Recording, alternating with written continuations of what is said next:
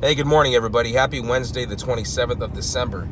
Um, another cold morning here in the Pacific Northwest. Uh, yesterday, I went for a, um, you know, my daily run during my lunch break, and two miles. It was it was nice because uh, the, I ran on the snow and ice. Uh, it, it kind of plays with your footing a little bit. You kind of have to watch where you step and um, kind of watch when um, you're kind of you're going downhill or uphill or when there's a sort of a slant in the road uh, or in the path. But other than that, though, it, it is it is really it's much easier on the knees and the joints and everything like that. So it actually was uh, was a quite an enjoyable run, I have to say. So um, maybe I'll be able to get another one in today, but I don't think that the uh, snow stuck around overnight uh, or at least through the day. Um, so well, we'll see how that goes. Um, I do have um, my daughter's trampoline to build probably when I get home today or probably tomorrow. And then uh, coming up on this weekend, we finally made it's weird. My uh, girl and I have been together for almost, you know, going on four years.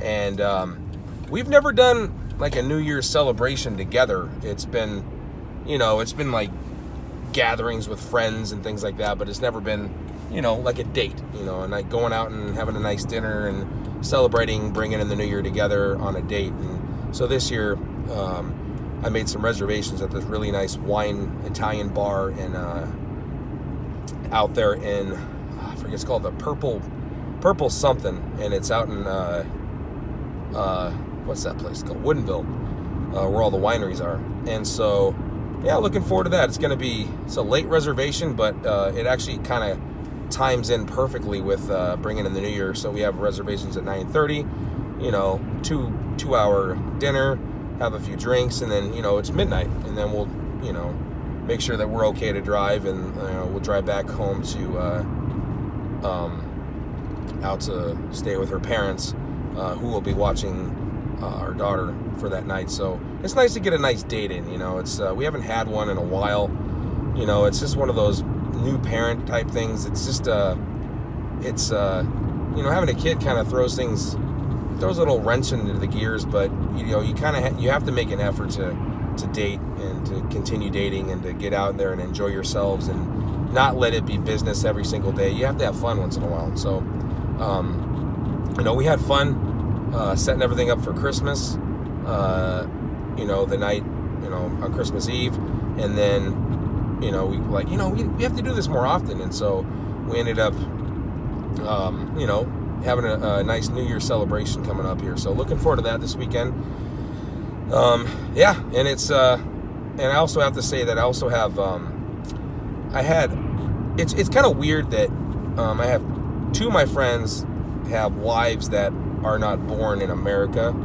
And that really doesn't play a big as a, as big of a role as you would think, but it's sort of a language barrier between the two wives, and so they had sort of a, you know, um, sort of I guess sort of a, a disagreement or uh, an exchange of words, and things got taken out of context, and and then what happened is uh, we have this close group of friends, uh, five guys, and um, you know two of them ended up not talking because you know their wives were fighting, and so they took their side of the wives, and um, so we haven't been able to hang out with you know one or the other uh, together in I think it's been about a year, and so they started talking again. Um, hatchets buried, um, everything's in the clear. Wives are talking again, so that's great. You know, it's just it comes to you can't be stubborn and you have to kind of be open to say, wait, what did I do? What did I say? Did I say the wrong thing? How did it get taken? Did it get taken out of context? What exactly happened? How did they receive the message? And so, um, just thinking about that, um, you know, they could see that, um, you know, that somebody um, kind of misconstrued the message. And so, and now it's, you know, everyone's on the same page, everything's good to go uh, everyone's happy, so that's that's definitely good. So now we have the group back together. Uh, no complaints, nobody speaking ill of other people, and you know, so that's hatchet is buried, moving forward. So that's great. That's good news. Looking forward to the next time we actually all hang out together because that, you know, like I said, it's been going on almost, uh, going on almost two years. So anyway, hope you guys have a great Wednesday. And remember, you know, coming up to this new year, you got to think about, you know, you can't, you can buy a new car, you can buy a new house, you can buy new clothes, you can get new hairstyle, get new shoes, but unless you change who you are internally, the person who you are externally will, will be no different. So you have to think about what you want to change on the inside for the next year. So you have to think about what you want to do, um, what you want to achieve, what you want to shoot for, and who do you ultimately want to be next year, or even start now. You know, why why wait till January 1st? Just you know, do it now, and then kind of say you got a head start on everyone else. So that's what I'm going to be doing, and next year is going to be trust me, there's going to be some big things coming, um, really good things coming. Stay tuned.